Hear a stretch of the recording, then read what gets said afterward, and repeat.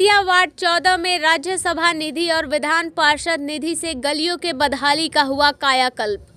भाजपा के राज्यसभा सांसद सतीश चंद्र दुबे और विधान पार्षद जनकल्याण चमार ने सांसद संजय जायसवाल के साथ किया उद्घाटन।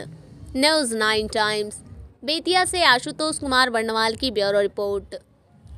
पश्चिमी चंपारण के बेतिया वार्ड नंबर 14 में भाजपा सांसद संजय जायसवाल राज्यसभा सांसद सतीश चंद्र दुबे और विधान पार्षद जनक चमार ने लगभग 40 लाख के निर्मित गलियों के सड़क निर्माण का फीता काटकर उद्घाटन किया।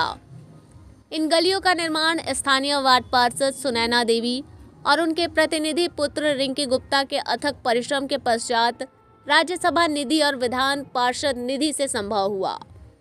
शनिवार को सुबह लगभग 11 बजे पूरे ढोल ताशा के साथ इस गली के सड़कों का उद्घाटन किया गया। सबसे पहले वार्ड पार्षद सुनैना देवी द्वारा दोनों सांसद और विधान पार्षद को अंगवस्त्र देकर सम्मानित किया गया।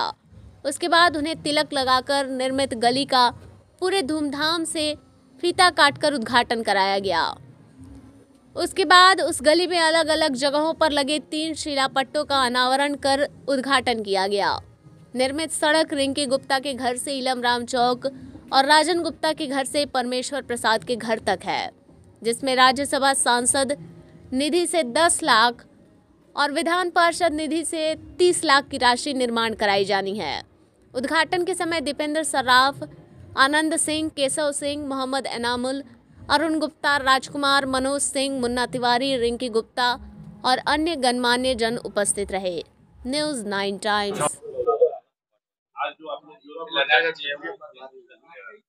कि देश के सची प्रधानमंत्री नरेंद्र मोदी जी का स्पष्ट रूप से कहना है कि जो अंतिम पंक्ति में बैठे हुए किसी समाज के लोग हैं, उनको विकास हर हाल में होना चाहिए।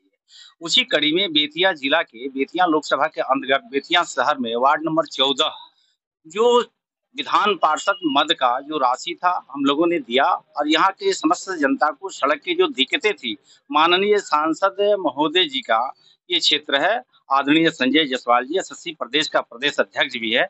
और आप देख रहे हैं कि जिस तरह दलित समाज में जन्मे जनक चमार विधान पार्षद सदस्य जो भारतीय जनता पार्टी के कोटे से मुझे बनने का जो अवसर मिला है, यह राशि पश्चिम चंपारण के वार्ड नंबर चौदह बेतिया शहर में दे करके सर्वांगीण विकास कैसे हो, इसकी चिंता भारतीय जनता पार्टी कर रही है। उसी कड़ी में माननीय प्रदेश अध्यक्ष आदरणीय संजय जायसवाल जी, माननीय राज्यसभा सांसद आदरणीय सतीश चंद्र दुबे जी और मैं अंतिम पंक्ति में खड़े जो दलित समाज के जनक चमार, मैं भी अपने राशि को दे करके सर्व समाज को विकास कैसे हो, दलित समाज का विकास कैसे हो, इसकी चिंता भारतीय जनता पार्टी करती रहती है। उसी कड़ी में आज कई सड़क को हम लोगों ने उद्घाटन किया है और उद्घाटन का श्रेय स्थानीय सांसद आदरणीय संजय जायसवाल जी को जाता है कि अंतिम पंक्ति में लोगों को कैसे विकास हो सके।